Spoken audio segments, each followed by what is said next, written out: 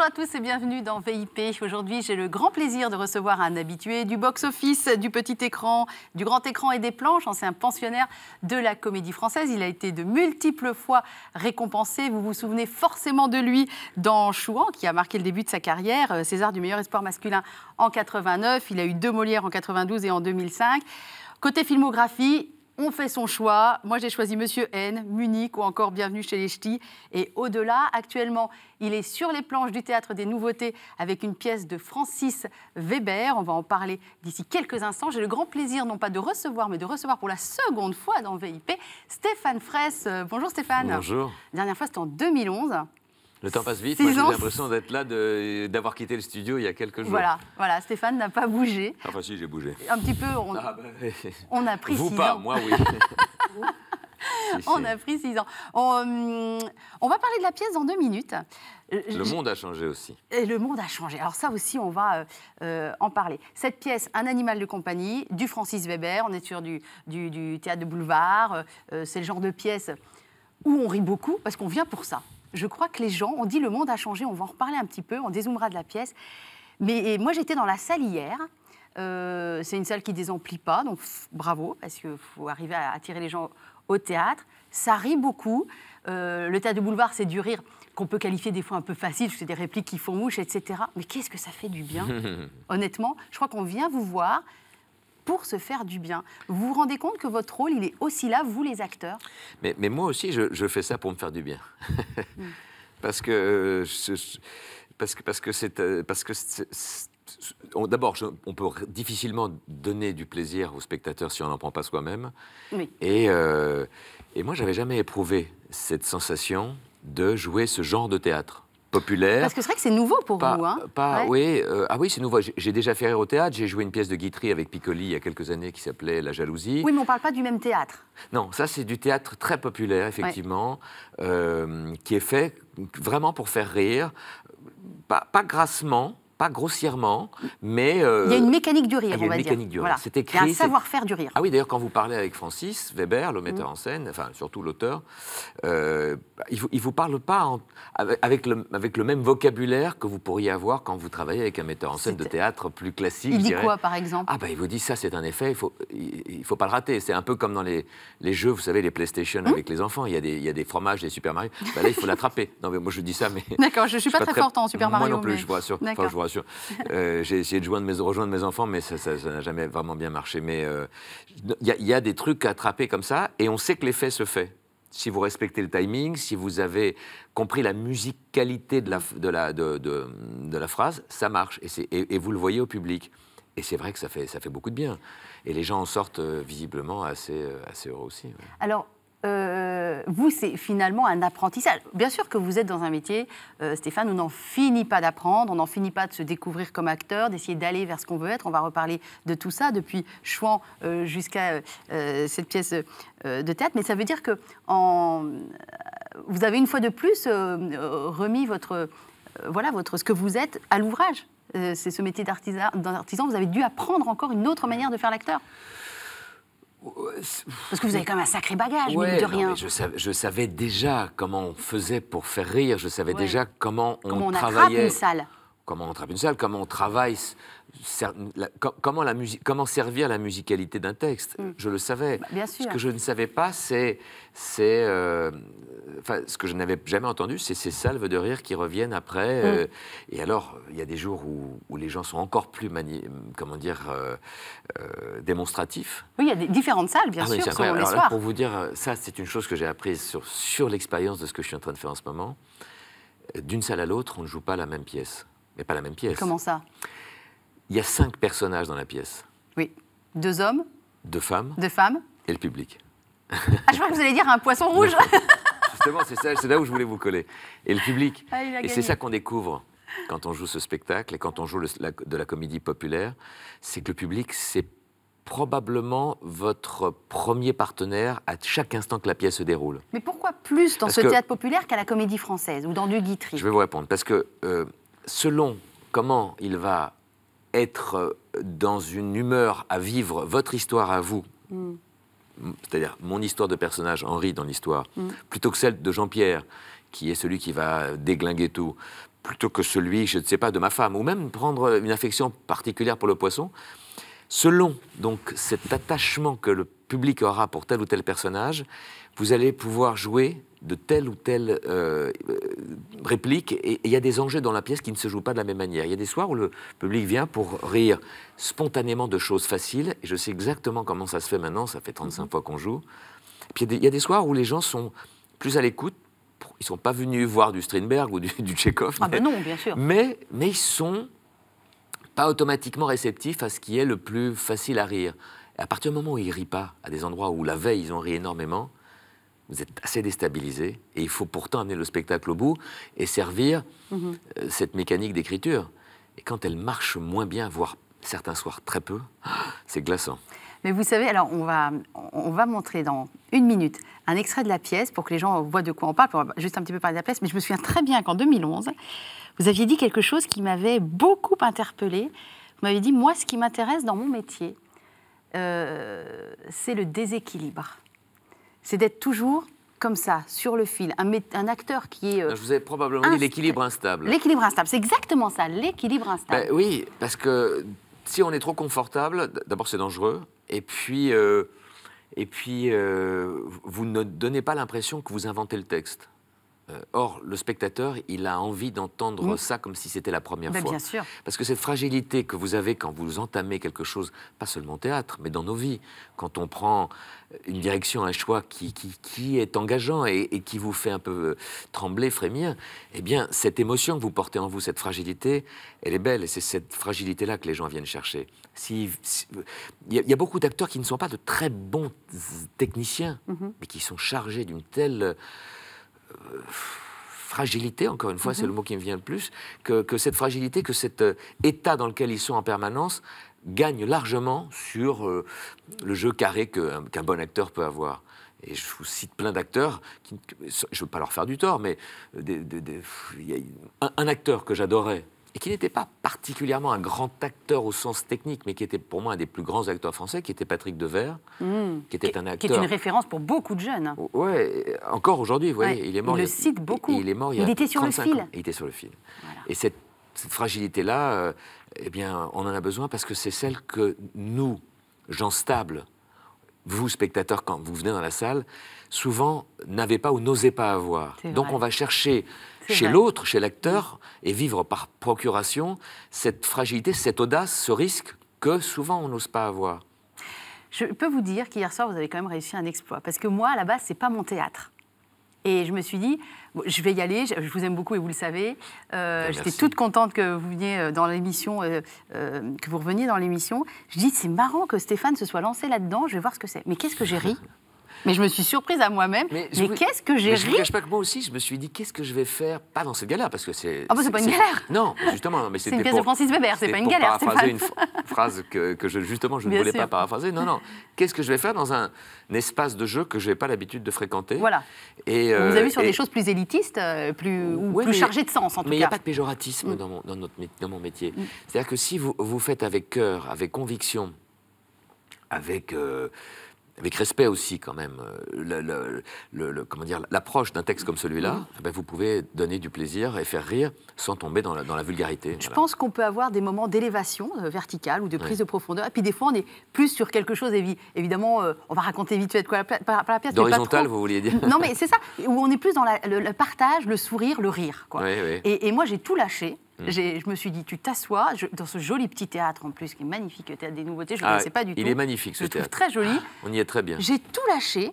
Je lui dis, allez, avec tes, références élitistes, etc., euh, tu te poses, tu lui fais confiance. Il a choisi d'être là, tu lui fais confiance. c'est joli. J'ai passé une super C'est joli, ben merci, merci. Merci, mais vous étiez un très bon public hier. Non, bah, tant mieux. Mais, euh, euh, bon, non, mais c'est vrai, parce qu'on parlait de public, je vous dis, il y a des soirs où, on, quand on, moi j'ai peu de sorties, vous avez remarqué, je suis très souvent sur scène, mais deux, trois fois où je sors rapidement et on se regarde en coulisses en disant qu'est-ce qu'ils sont venus faire ce soir ici mm. Mais vous êtes beaucoup sur scène. Oui, mais, mais, mais donc c'est important de sentir qu'on est tout de suite, qu'on les a attrapés et, et qu'ils sont venus pour prendre du plaisir, en fait. Alors, on va quand même passer cette bande-annonce parce qu'on titille nos téléspectateurs depuis tout à l'heure. Bon, très simplement, on va dire de quoi parle la plaie. C'est un couple qui s'aime.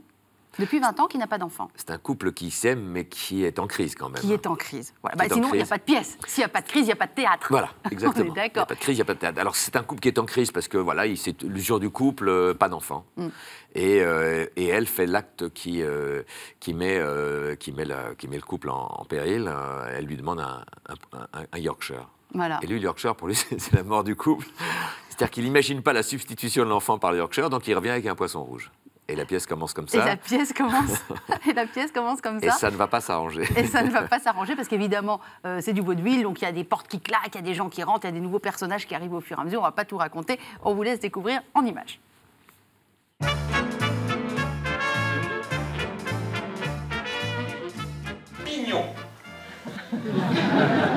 Voilà, on tient, tu t'appelles Pignon. Elle voulait un Yorkshire. Et voilà ce que je lui offre à la place. Tu vas assister à ta première scène de ménage. Qu'est-ce que c'est que ça? Ils n'avaient plus de Yorkshire. Jean-Pierre? Oh merci Henri. Mais qu'est-ce qu'il fait là, lui? Il est dans mon peignoir, en plus Elle ressemble à quoi cette fille? Oh je t'avoue que j'ai pas pu vraiment juger, hein. je par Dunia, euh, tu me présentes Henri Qu'est-ce que c'est que ça? Mon fils, Il est mignon, mignon, mignon, mignon. Il a quel âge? 5 ans.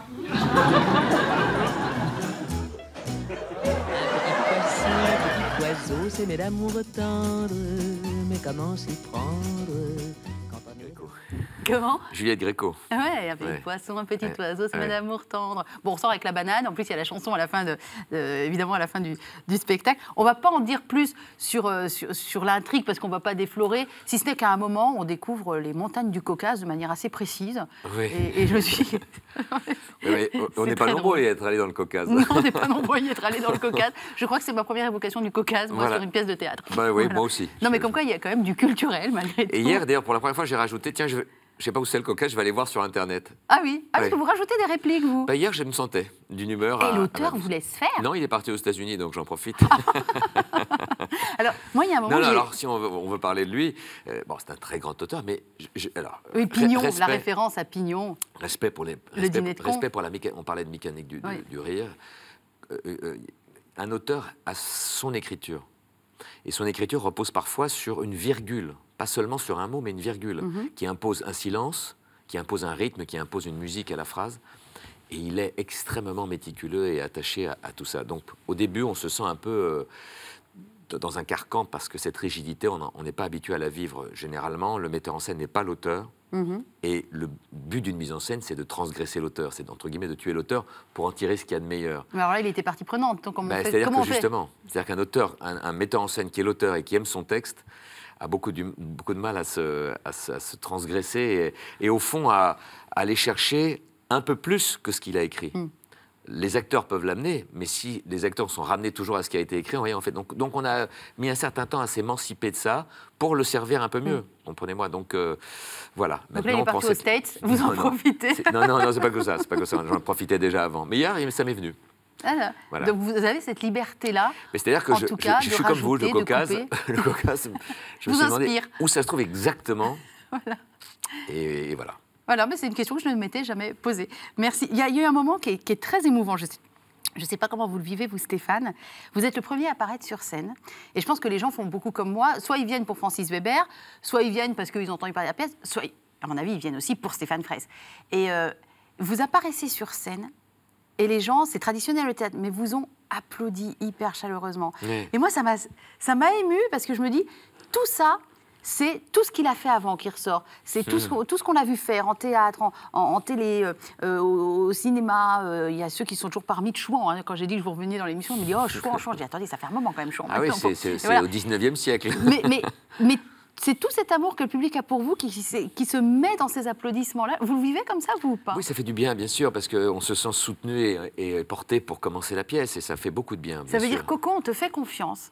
Et on est avec toi. Oui, on est venu pour voir cette pièce avec toi. Voilà, et t'as pas dit encore un mot, t'as pas commencé à jouer, t'as juste traversé le salon, oui, le et- décor. oui, ça, ça met un peu de pression aussi. On se dit maintenant, il va falloir leur faire vraiment plaisir. Ils, ils sont venus pour, euh, pour prendre du plaisir. Qu'est-ce que ça veut dire si on dézoome un petit peu de cette pièce et du succès qu'elle a Mais qu'est-ce que ça veut dire aujourd'hui le succès de ce genre de pièce dans le monde tel qu'il est devenu? Parce que ce monde, effectivement, en six ans, depuis 2011, vous êtes venu dans VIP, a changé. Oui, il a changé beaucoup. Il a, il a énormément changé, je trouve. Ces six années on sont, se sont, sont démultipliées, je trouve. Euh, Bon, pour répondre à la première question, qu'est-ce que ça signifie? Ça signifie qu'effectivement, les gens ont besoin de rire. C'est pas nouveau, hein, euh, la- cette espèce de, de, de- de- de besoin de rire au cinéma et au théâtre, ça fait une vingtaine, plus d'une vingtaine D'où le d'années. succès de La La Land.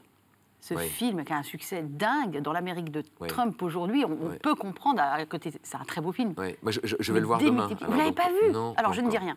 Je l'ai pas encore vu parce que, parce que voilà tout ce que. Bien sûr. Voilà, mais euh, mais j'ai vu un autre très beau film que je vous conseille de voir si vous l'avez pas vu. C'était il a deux ans qui s'appelle Winter Sleep. Ah, je l'ai pas vu. Et je me celui-là. suis vu hier soir ça très tard, jusqu'à très très tard, mais ça dure trois heures. Ouais. Formidable film aussi, un film d'amour complexe.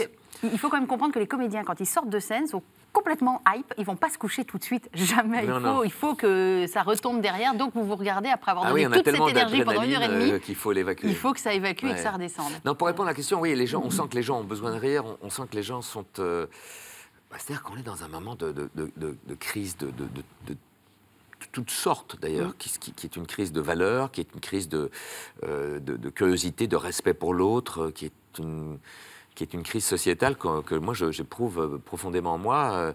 euh, et et c'est aussi peut-être une des raisons pour laquelle j'ai choisi cette pièce parce que justement cette- ce besoin d'aller vers l'autre et de partager avec l'autre quelque chose qui soit pas discutable. Le rire, ça se discute pas.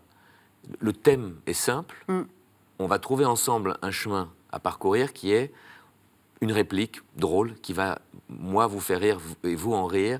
Enfin, vous faire rire et, et moi tenter de vous faire rire. Mais trouver ce, ce rapport, ce rapprochement, ça me fait beaucoup de bien et, euh, et euh, ça a l'air d'être euh, comme ça un peu anecdotique et ça, et ça, ça ne l'est pas. Mais je, je- je vois en sortant tous les, tous les gens qui, qui sont heureux et qui viennent me voir me disent on en a tellement besoin. C'est donc qu'il y a un cri. euh, Depuis Charlie, depuis le Bataclan, vos métiers artistiques ont été euh, sacrément secoués aussi. Et, c'est souvent les premiers domaines, les artistes, à, prendre cette matière pour la transformer. euh, ça, ça féconde aussi vos métiers différemment. Alors, pas forcément directement par des rôles que vous choisissez, etc. Mais, c'est un milieu qui a été très, très euh, euh, touché par euh, ce qui s'est passé. Vous, vous avez vu votre milieu, euh, je ne parle pas que du milieu des acteurs, du milieu artistique généralement, changer justement suite à cette insécurité mondiale? Dans vos discussions entre vous, ou dans les choix des textes qu'on vous propose, ou des, thèmes qu'on vous propose. Est-ce que vous trouvez que ça a bougé ou pas? Euh, oui, ça bouge, bien sûr. Ben, regardez le- le panorama des films de cette année qui, ont été, qui sont sélectionnés pour les, pour les Césars. Regardez, alors il y a- on parle de comédie, mais il y a quand même beaucoup de films d'auteurs qui racontent la, Mm. la- la- la- la dureté de notre monde d'aujourd'hui, la, la- pénibilité, euh, l'injustice, euh, la disparité euh, des richesses et, des, et, et- et- et la disparité culturelle aussi, et, la difficulté à nous intégrer dans une même société. Et je trouve que le cinéma le raconte et doit continuer à le raconter. Et c'est formidable. La France a ça en plus, je trouve, des autres cinémas européens, qu'elle ose le dire, qu'elle le fait souvent très bien. Et que, ce qui a été un enjeu à un moment, vous avez entendu parler de, ce qui s'est passé avec, euh, avec les lois qui cherchaient à, réduire, euh, euh, pas les acidiques, mais évidemment, il faut que je sois là en direct pour chercher le mot. C'est la Non, non, je, cherche moi aussi. Euh, le- le- le- Pour les intermittents Les intermittents, merci. Euh, c'est- tout, tout- tout ce qui a été engagé pour faire que notre euh, monde soit, euh, ben, soit- s- perde certains de ses avantages, Mm. mettait, risquait de mettre en, en- en- en vraiment en, en danger le- le- le- notre capacité à produire quelque chose d'unique, de toute la création française. français. Mm. Et, ce qui nous, moi, je, je viens de tourner en Italie. Ce qui nous distingue euh, de certains pays, c'est notre capacité à pouvoir produire des sujets qui ne sont pas des sujets faciles, qui disent notre malaise et qui le montrent et souvent bien. Moi, j'ai vu il y a encore très peu de temps un film qui s'appelle euh, Je ne suis pas un salaud d'Emmanuel Finkiel, avec un très bon acteur. On parlait de Patrick Devers qui s'appelle Nicolas Duvauchel. Ah bah ouf. Ah bah, alors l'héritier de Devers. S'il y a un héritier de Devers, Voilà. c'est Nicolas Duvauchel. Voilà, Oui, oui. voilà. Et, euh, et, euh, et qui raconte ce- cette espèce de journée particulière euh, d'Ettore Scola, vous vous souvenez du film, Mhm, ouais. revue dans notre monde d'aujourd'hui avec un couple, Mélanie Thierry et lui, qui sont qui s'accrochent pour essayer de continuer à, à vivre et à faire vivre un enfant et qui, et qui dérapent. C'est très fort, c'est très dur, et ça raconte vraiment bien aujourd'hui l'état dans lequel nous sommes. Donc c'est vrai, Ouais. pour revenir à la question que vous me posiez, on a, en plus de la responsabilité de détendre ce que je fais Mhm. chaque soir, la- le devoir de, de donner à, à voir.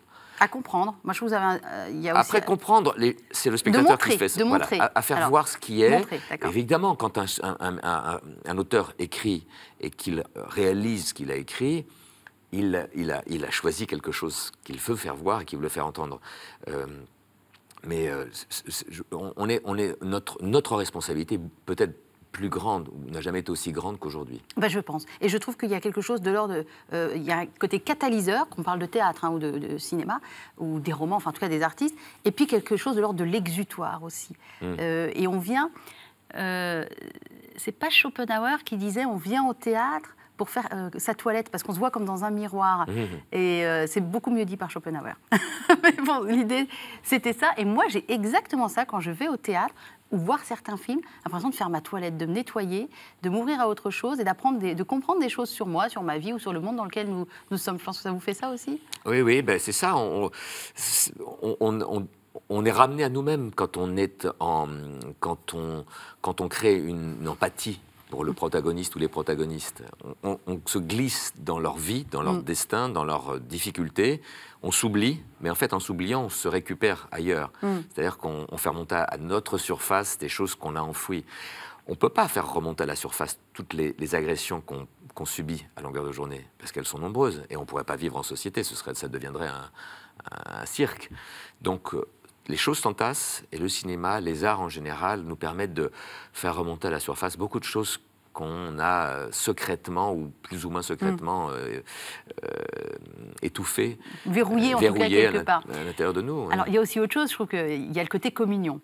Euh, quand on rit ensemble, ou quand on est à un match, euh, bon, moi, j'y suis pas souvent à des matchs, mais ensemble, vous savez, ce côté sport ou le côté théâtre, il y a le fait d'être ensemble Voilà ce que pour célébrer quelque chose. Voilà, Et ça, on en a besoin Bien aussi. sûr, bien sûr. Euh, c'est presque, Bien sûr. presque comme. euh, on fait des liens des fois avec la messe, c'est très catho ça. Mm. avec la messe et les grands-messes du stade ou, ou les grands-messes de théâtre, Avignon, etc. Mais hier, j'ai senti une salle. euh, voilà, on rit ensemble. On est là pour 1h30, hein, on va pas se revoir les uns les autres. Mm. Mais il y a ce côté besoin d'être ensemble et, et de rire ou de célébrer quelque chose en tout Oui, cas. là, parce que le spectacle a quelque chose de très innocent et, et- et- et d'inoffensif. Mm. Donc on sait en même temps qu'on va pas se faire avoir. On va se faire avoir au sens le plus simple et Ah bah, le plus joyeux du par la terme. pièce, quand même. Oui, voilà, on se fait mais voilà, mais pas plus. Donc euh, il y a quelque chose qui est, euh, euh, qui est, le pari de départ est accepté. On sait Mm. pourquoi on est là et du coup effectivement, le public vient vers vous, nous on vient vers eux et, et on sort satisfait.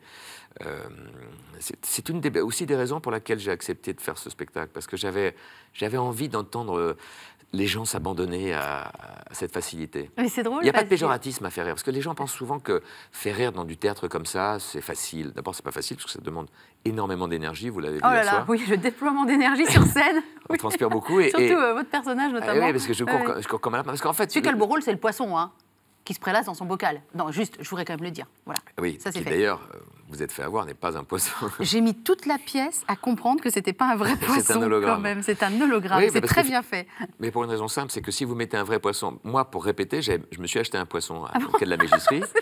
Je l'ai ramené chez moi, je l'ai appelé Pignon Et d'ailleurs. vous lui avez parlé pendant- comme dans la pièce. Ah mais oui, oui, mais on devient complètement schizo, on devient... on Mais devient- c'est un poisson psy en fait. J'ai une fille qui a, qui a 9 ans qui me voyait partir le matin à, l'école, qui me regardait parler tout seul dans, dans le salon avec le poisson. Avec le poisson. Et qui me disait Bonne journée, papa.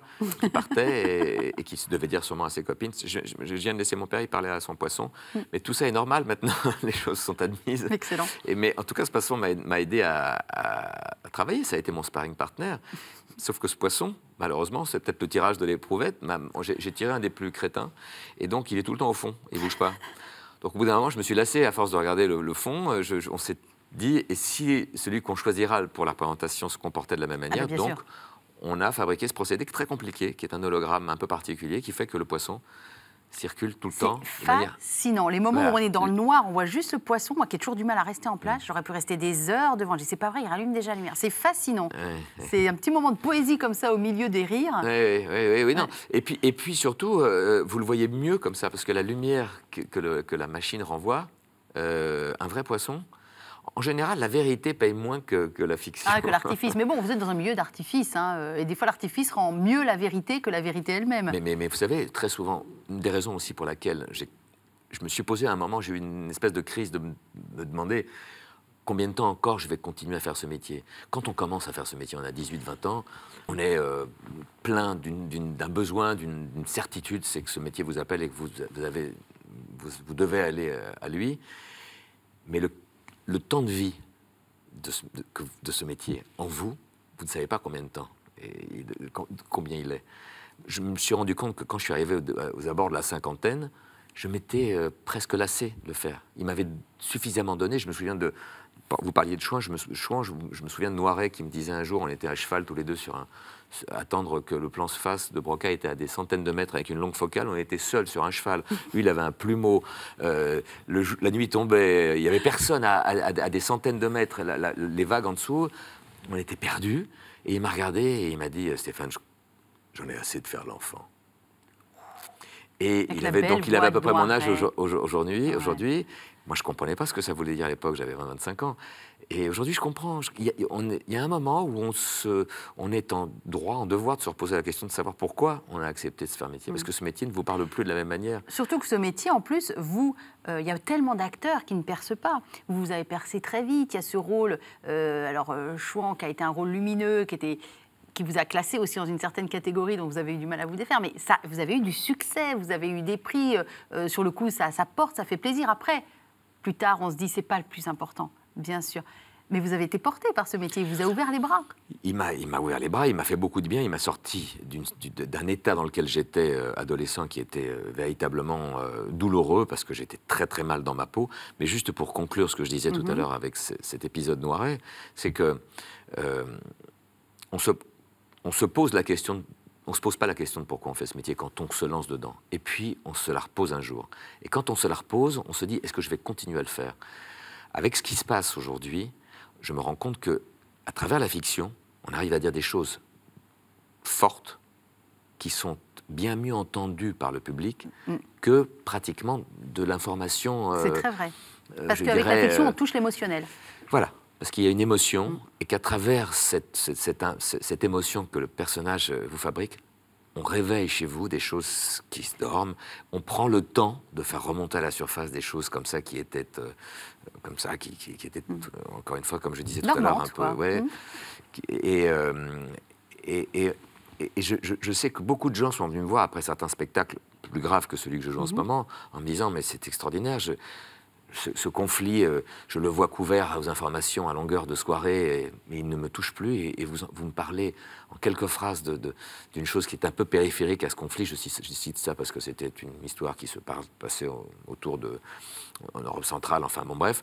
Et, je me souviens d'une personne qui est revenue me parler de, son adolescence, donc, qui était une personne âgée, que mon personnage avait réveillé Mhm. à travers juste deux, trois phrases, Mhm. mais chargées d'une histoire, d'une émotion, et il était brisé. Et je, sais aujourd'hui qu'on peut dire des choses avec ce métier, qu'on peut faire entendre des choses qu'on ne peut plus faire entendre par l'information normale, parce que on doute. On doute de son, de son, de sa crédibilité. Alors, il y a deux choses que m'inspirent vos propos, Stéphane Fraisse. D'abord, une phrase que vous aviez dite en 2011, la chose la plus importante, c'est l'émotion. Donc, je vois que vous n'avez pas bougé de, de- de cette... Non, c'est pas peut-être la chose la plus importante. C'est une, c'est- une des raisons pour lesquelles nous on fait ce métier, Mm. et c'est ce qui nous permet, vous parlez de communion, d'échanger. C'est c'est un acteur encore une fois euh, technique, mais qui ne produit pas cette émotion, bah, va vous laisser euh, à distance. Donc dans cette émotion, dans ce qui se passe, dans cet effluve qu'est l'émotion, et, qui, et il, il va y avoir quelque chose qui va, euh, qui va vous traverser, qui va vous Mm. atteindre et qui va, qui va vous modifier ou en tout cas vous interpeller. Et, euh, et oui, bien sûr, là-dessus, je, continue à penser que c'est une. c'est- c'est- moi, c'est ce qui me construit. Et c'est ce que je d'ailleurs transmets à mes, à mes enfants. Et après, euh, euh, il y a aussi autre chose, c'est que vous, vous avez eu la reconnaissance. C'est très important ces métiers-là. On, euh, on est tous des égaux en puissance. Euh, je crois que c'est encore plus vrai dans les métiers artistiques, qu'il y a un besoin d'expression qui est peut-être moins vrai ailleurs. Vous, vous avez eu la reconnaissance, toutes les reconnaissances du public, de la critique. Donc il y a quelque chose qui a dû se désarmer assez vite chez vous, puisque cette reconnaissance, j'en sais rien, hein, je tâte le terrain, puisque cette reconnaissance est arrivée. moi, je me suis demandé, je me suis posé la question si, en me disant, tiens Stéphane, est-ce qu'il n'a pas finalement, au bout de quelques années, dézoomer assez vite de cette reconnaissance, assez, euh, voilà, dézoomer un petit peu aussi de, de l'ego de l'acteur pour aller chercher autre chose qui va le, le nourrir et l'approfondir. Est-ce que- est-ce qu'il y a eu ce, ce parcours-là ou pas? Non, mais on peut, on peut, Faut on- on décrocher, peut ouais. se nourrir toute une vie en étant qu'acteur. Il y a des acteurs français formidables qui n'ont pas envie d'écrire, qui n'ont pas envie de réaliser, et qui se contentent parce qu'ils ont aussi la chance d'être extrêmement nourris par les personnages qu'on leur propose. Vous avez raison. Si on fait une vie qui est une vie de petits boulots avec des petits personnages qui vous qui vous remplissent pas, euh, qui ne, qui ne vous épousent pas, qui ne, qui ne vous grandissent pas, alors oui, on est frustré et oui, on est toujours à la recherche d'un peu plus dans ce métier. Quand vous avez été gâté par, euh, par certains personnages, vous- quand vous êtes gâté par un personnage, c'est que souvent le personnage habite pleinement le film et que le film est assez fort pour aussi vous donner à vivre des émotions. À ce moment-là, vous commencez à avoir un regard sur ce que raconte le film. Et de regard en regard, vous devenez vous-même, euh, euh, vous, vous- devenez à un moment, euh, comment dire, excité par l'idée de construire votre propre euh, univers, enfin de le faire vivre, ou par l'écriture ou par la réalisation. Et, et- et moi, ça m'est arrivé, j'ai commencé à réaliser un court métrage, pas par goût uniquement de passer de l'autre côté, parce que j'avais envie de dire certaines choses et que je n'avais plus envie simplement de les dire comme acteur, mais j'avais envie de m'occuper aussi du décor, de la musique. euh. Est-ce que vous parlez du court-métrage dont on avait déjà parlé en 2011, euh, euh, It's Mirac- Miraculous? Ah oui, ah oui il était déjà- je l'avais déjà fait, mon Dieu. Oui, oui, il avait déjà raflé tous les prix. euh, Ah oui. À l'époque, c'était un court-métrage que moi j'avais vu dans un festival où il avait évidemment raflé tous les prix, qui était très drôle, euh, qui, qui jouait sur votre ressemblance avec, avec- Dr House, avec l'acteur de, de Dr House. Et, et oui, c'est vrai que vous êtes passé à autre chose. Vous êtes passé à l'écriture, à la Oui, réalisation, là- au choix des musiques. Voilà, là je Voilà. prépare d'ailleurs. Et vous préparez un autre Ouais. court-métrage Non, un long métrage. Un long métrage? Bah. Racontez-moi ça. Ben, Si vous euh, pouvez. Oui, enfin. en- Je ne veux pas, euh, Oui, enfin, en deux mots, c'est le, le pitch, ce serait euh, un homme, un écrivain, un écrivain important, un écrivain français important. qui Installé. qui a écrit des best-sellers, assez important pour même qu'on le connaisse physiquement, donc c'est un, un écrivain qui existe. Et je, on ne va pas te donner de nom. Et non, non, non, mais il je me souviens très bien que Modiano était votre. et Jacques Pierramette étaient vos témoins de mariage. oui, c'est vrai. Donc je me dis qu'il y a des inspirations oui, quand oui, même. oui, oui. Euh, oui, ah bah là, vous citez des, des grands, des grands auteurs. hein. Mm. Euh, Non, mais on voit d'où peuvent venir les influences. voilà, euh, je, je me suis pas, je, je ne me suis pas pris un modèle. J'ai imaginé un, un- un auteur euh, qui est en crise au moment où commence l'histoire Moi, je dis s'il n'y a pas de crise, il n'y a pas d'histoire. et qui ne le sait pas encore, qui est plein d'une vie qui commence à se fissurer et qui va le découvrir pendant le film. C'est un auteur qui est en train de poussé par sa maison d'édition à essayer de terminer son, son prochain best-seller, Mhm. mais il n'arrive pas à le terminer. Il est déjà envoyé pour commencer à faire de la presse dans un salon du livre, et ce salon du livre se trouve en, en- en Israël, parce que son éditrice lui dit il y a le salon, il y a un sa- donc il y va comme il est allé à Londres, etc. Tiens donc. Et il arrive là-bas, il pense être reçu à Jérusalem ou à Tel Aviv. En fait, on l'envoie dans le Golan, à la frontière syrienne, dans un kibbutz, où même ils ont oublié de l'appeler pour lui prévenir que le truc a été, a été annulé parce que, parce, que, parce que les événements qui sont juste à côté, c'est-à-dire la Syrie étant à quelques kilomètres, font qu'il y a des urgences et que. Donc le type se retrouve là bloqué Mhm. et il ne peut pas repartir tout de suite. On le met dans un village qui se trouve à la frontière syrienne. Oui, c'est la crise. Et, euh, et là, il va faire une rencontre dans ce village assez particulière qui va évidemment modifier ce qu'il va écrire et modifier son regard sur le monde. Vous allez jouer le rôle, j'espère. Non, pas du tout. Non, Vous voulez pas le jouer? Non parce que je voudrais le, le réaliser, le réaliser. Et pour le réaliser, je voudrais avoir la distance. La distance nécessaire. nécessaire. Voilà. D'accord. Ah, je vais guetter ça avec impatience. Ah, c'est intéressant que vous, quand même. Jérusalem, c'est pas anodin. Vous êtes euh, d'origine d'Europe centrale. Ouais. euh, Non, Jérusalem- ju- juive. Non, mais dites pas que. Attendez, euh, Jérusalem, c'est quand même important dans l'histoire. Mais euh, dans- l'histoire des religions. Et ce que je Des voulais- religions, tout à je- fait. Mais moi, je, je- je mais vous- pourquoi Jérusalem? En fait, au Vous départ, pu ça devait pas se n'importe où, votre personnage. Vous avez choisi Jérusalem. Au départ, je voulais qu'il se passe en Grèce, vous voyez.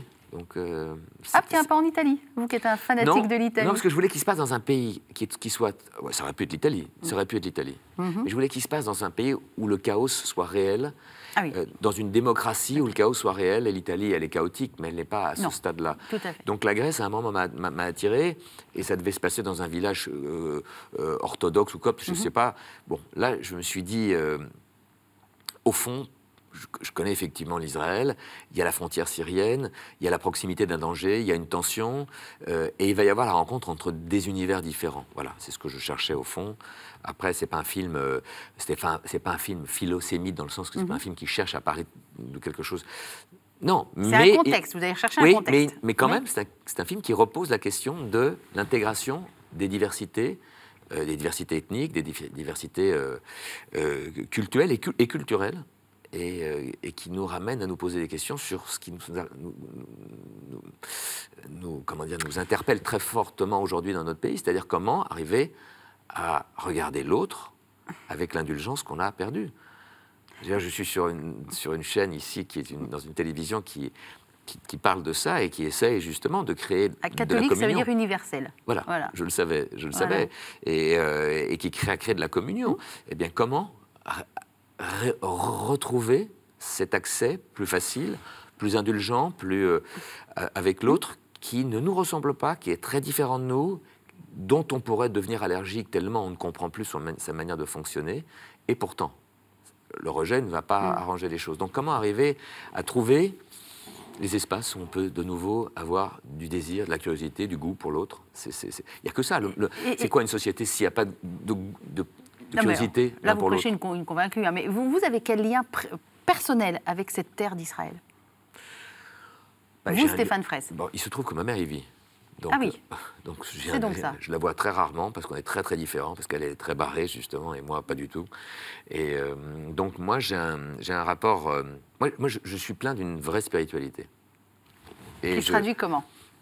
Et je traduis par, par justement mon goût pour, pour la, la diversité et, la, et, la, et, je- je- je- je- et, et pour, euh, et pour la, la richesse de ceux qui défendent avec dignité, avec, euh, avec amour, leur, euh, leur foi. ah, mais Là, vous parlez de l'humain. Dans la spiritualité, il y a de l'humain, il y a du divin. Oui, Donc là, vous alors, parlez de la partie humaine. Je parlais de foi hein, là à l'instant. C'est-à-dire que Mhm. l'humain, évidemment, c'est c'est ma priorité. Mhm. Mais euh, d'ailleurs, c'est d'ailleurs pratiquement que ma priorité. Mais, mais dans l'humain, quand il est à ce stade d'élévation et de, et de plénitude, il y a du divin.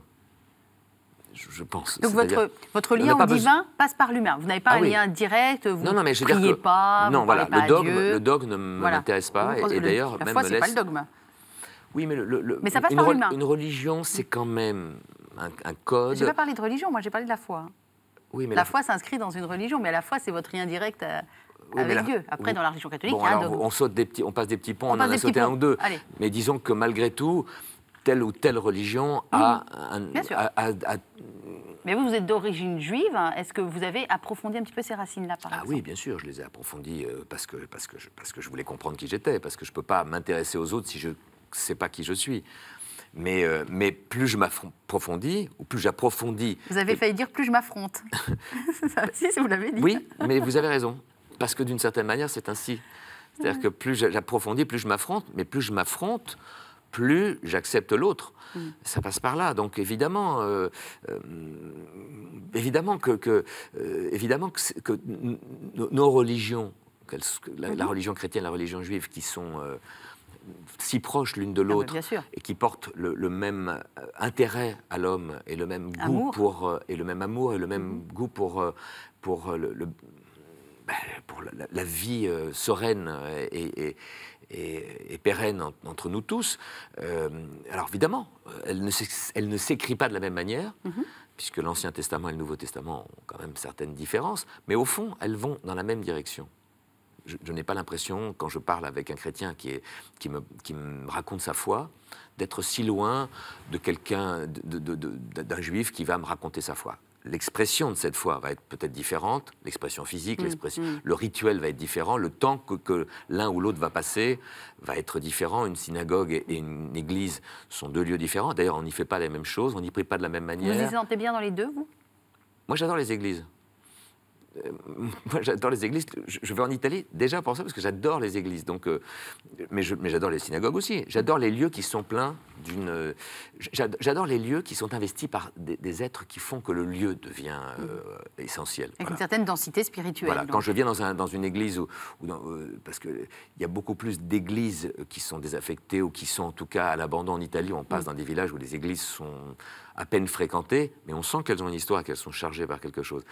Il y a moins de synagogues comme ça, parce que déjà il y a moins de lieux de culte, ils sont, elles sont souvent euh, occupées, et elles ont aussi leur histoire. Quand on va à Prague voir la synagogue de Prague, on ne Ouais. peut pas être bouleversé qu'on soit juif, chrétien ou- musulman, c'est pas possible. Voilà, donc ce que, ce que j'ai dit juste, c'est que on, on a probablement plus de mal à comprendre l'autre si on ne connaît pas déjà un tout petit peu ce dont on est fait.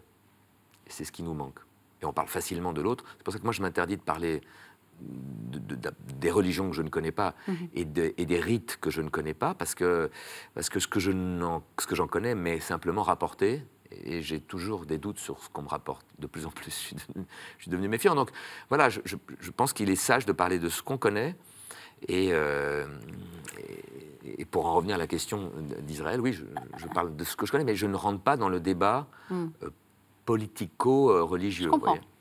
Je mets un homme dans un lieu et je sais, comme quand on fait une espèce de, de réaction chimique dans un laboratoire, j'essaie de voir ce que ça donne.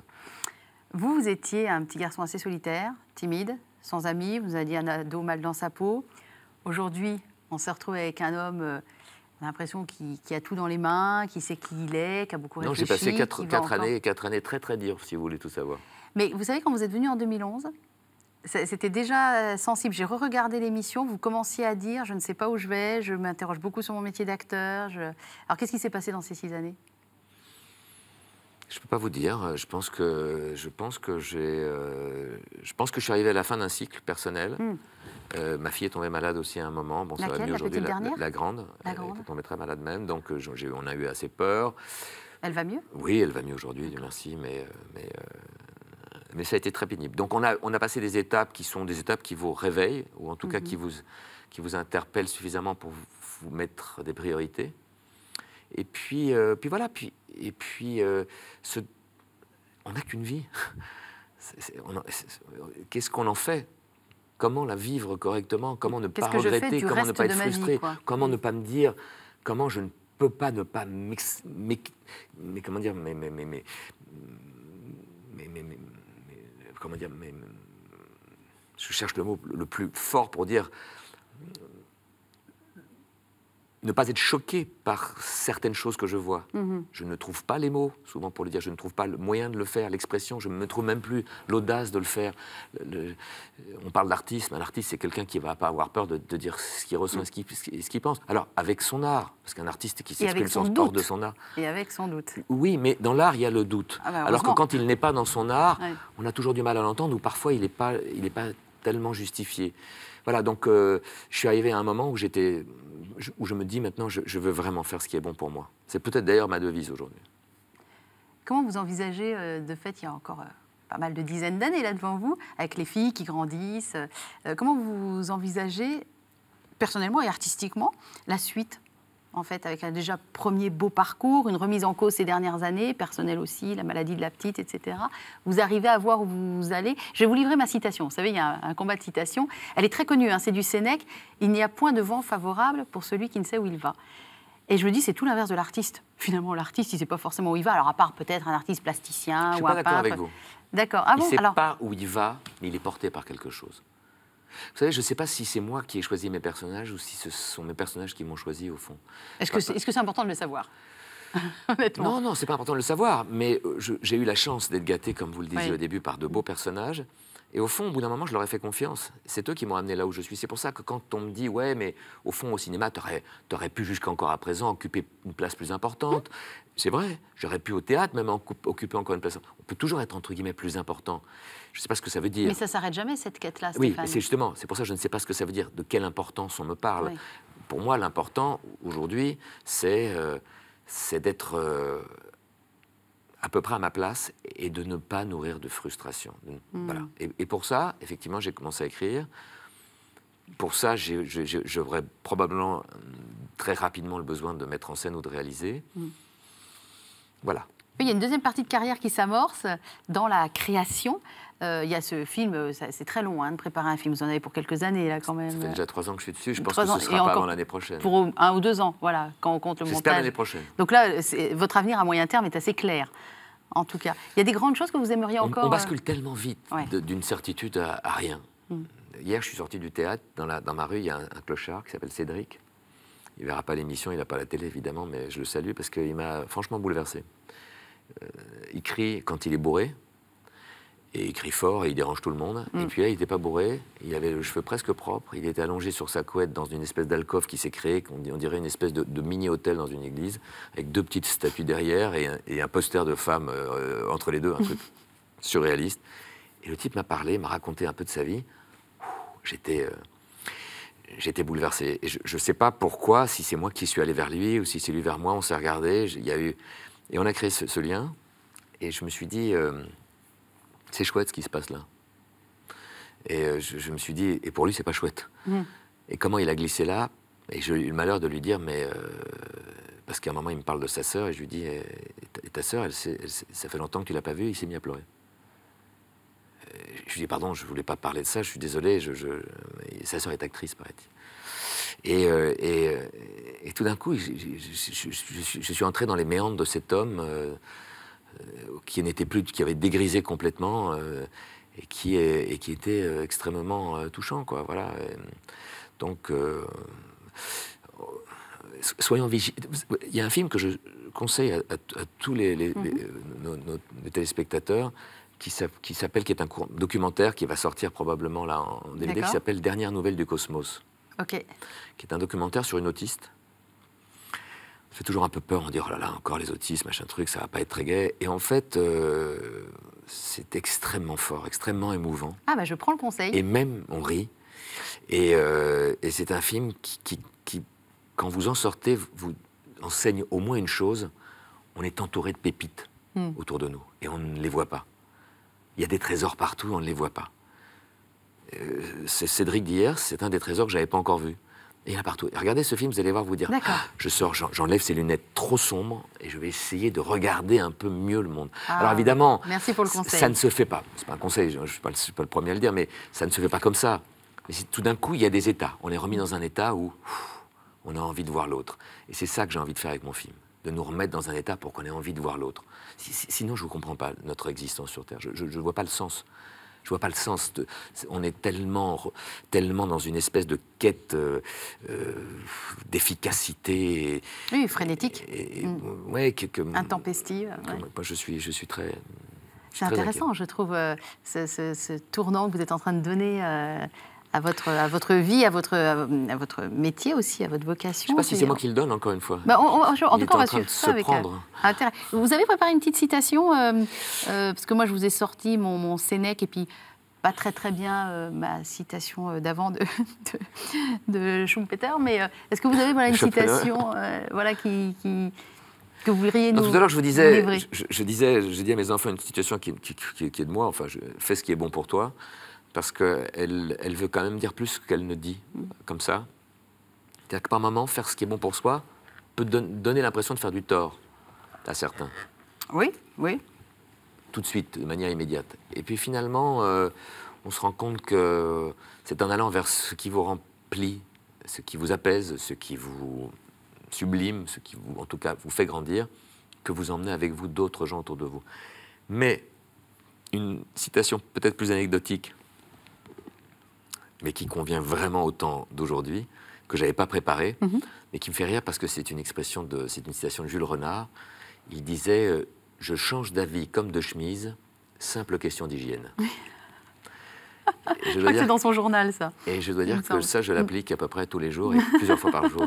Et j'en ai aucunement honte parce que de toute façon, le monde nous donne à, à revenir sur, sur nos pas euh, à chaque instant et surtout à, avoir, à devoir avoir l'honnêteté de dire oui. J'ai dit ça, et aujourd'hui je peux dire ça. Regardez, on, on rentre dans une période politique très importante, Ouais. et on montre du doigt les politiques qui disent Je comprends pas, il y a encore, il n'y a pas si longtemps, Il disait autre chose. vous disiez que ça de lui, euh, et, et- et vous disiez ceci, euh, Mm, de- alors que le monde. Oui, mais le monde change. Les gens changent, tout change. On est en droit aussi, soit de changer. Merci pour la citation, elle est vraiment très bien. Alors ça, c'est plus une citation, ça c'est le livre d'or de l'émission VIP. Je vais vous laisser. Vous avez choisi le violet? Pourquoi le violet comme couleur? Vous aimez bien. Je sais pas, parce que tout à l'heure, il m'avait l'air bleu, foncé dans, le, dans la Dans la loge. Mais j'aime bien le violet, oui, c'est beau. Alors pendant que Stéphane Ma écrit, fille, ma euh, petite fille, qui va avoir 10 ans, adore le violet, donc ce sera pour elle. La dernière fois vous étiez venu Mais- d'ailleurs avec un Playmobil qui traînait dans votre poche. Elle avait 4 ans à l'époque. Ah oui Et ouais, l'objet de Stéphane, c'était un Playmobil. Euh, Euh. Je vous laisse écrire pendant ce temps-là le, euh, le petit mot sur le livre d'or. On le lira quand vous aurez terminé. C'est pas l'exercice le plus facile qu'on propose non, aux non, non, parce invités. que je hein. savais pas et vous m'avez. Je peux aller regarder ce que les autres ont écrit pour. Oh, ils ont écrit des choses formidables. Je vais vous mettre une pression. un truc de dingue. Pendant ce temps-là, donc je vous rappelle l'actualité de Stéphane Fraisse. C'est cette pièce au Théâtre des Nouveautés. Un animal de compagnie. Euh, Il y a un très gros poisson rouge sur l'affiche. Vous pensez que l'animal de compagnie au théâtre bar est le poisson rouge, mais vous verrez que dans la pièce. C'est peut-être pas que le poisson rouge. Euh, le titre est très bien trouvé. En tout cas, c'est une pièce de Francis Weber. Allez-y pour rire. C'est au Théâtre des Nouveautés. Vous jouez jusqu'à quand, Stéphane? Jusqu'à la fin avril. D'accord. Y a encore le temps. C'est bien. Et après, on reprend en septembre. Et vous prenez en septembre. Donc voilà, ça c'est toutes les indications d'une pièce qui marche. Allez-y pour communier ensemble dans le rire. Allez-y pour Stéphane Fraisse aussi. Allez-y pour cet hologramme. Allez-y pour les autres euh, acteurs. Et pendant ce temps-là, Stéphane nous écrit un petit mot d'amour dans l'émission parce que les acteurs, c'est que de l'amour. Ah, une grosse écriture. C'est très drôle parce qu'il y en a qui prennent toute la place, il y en a qui se mettent dans un petit coin en haut à gauche. C'est très. Ah, très ben je pensais que j'avais le droit de. Vous avez complètement le droit de faire ce que vous voulez. C'est une page blanche et c'est tout le principe de la page blanche. Vous faites des dessins Non, mais je me fais ce matin parce que je trouve que j'ai cette tête-là. Attendons. Alors nous allons découvrir la spéciale dédicace de Stéphane. Vous pouvez regarder? Vous avez écrit quoi? Bah, j'ai écrit quelque chose qui touche un peu votre chaîne. Oh, j'ai communié avec vous, cher Emmanuel, pour mon plus grand bonheur. À vite, Stéphane Fraisse. J'ai du mal, juste, je vais montrer aux téléspectateurs votre écriture. J'aime bien montrer l'écriture des, des invités. C'est un dessin, ça? Non, c'est pas un dessin. Ah, Vous savez que vous êtes bien meilleur acteur que dessinateur. Bah, hein regardez, c'est un peu moi ce matin, hein, si vous regardez. je trouve que je suis pas loin de ça. C'est très drôle, mais je comprends pas ce que je vois. C'est, je vois quelqu'un qui a un, Un peu... œil à gauche, un œil à droite, un peu de barbe, la bouche qui tombe, euh, les cheveux en désordre. Ouais. Vous savez vous avez une vision de vous qui, qui colle pas avec la réalité. Non, Vous mais je préfère me voir comme ça. Vous êtes, vous, êtes pas en forme, c'est ça Je suis, je suis beaucoup plus euh, enfin, tordu, non, euh, c'est pas le mot exact, euh, encore peut-être, mais euh, tr- troublé et que je n'en ai l'air. Ah, c'est intéressant. Bon, et ben, et ben voilà. Donc l'autoportrait par Stéphane Fraisse. Ça, ça, ça vaut- c'est collector. Je vais le vendre. euh, je pense Je vais pas. le vendre. Merci infiniment. On a passé euh, Ben, une très bonne émission, très différente de celle de 2011 pour ceux qui iront la regarder. On avait tous les deux six ans de moins et vous aussi d'ailleurs, Euh, mais très enrichissante et par rapport à cette réflexion sur euh, votre métier et votre vie. Enfin, vous avez passé un bon parler moment? Oui, très bon, mais je commence à me réveiller. Vous savez, on se couche tard, enfin même tôt Ouais. le matin. Ouais. Donc, Merci euh, d'être venu, c'est trop sympa. genre, la, pro- la prochaine heure aurait été la bonne, à mon avis. D'accord. Vous partez en répète là. Merci beaucoup Stéphane Fraisse. Merci Très bonne continuation. Merci. Au revoir. Bye.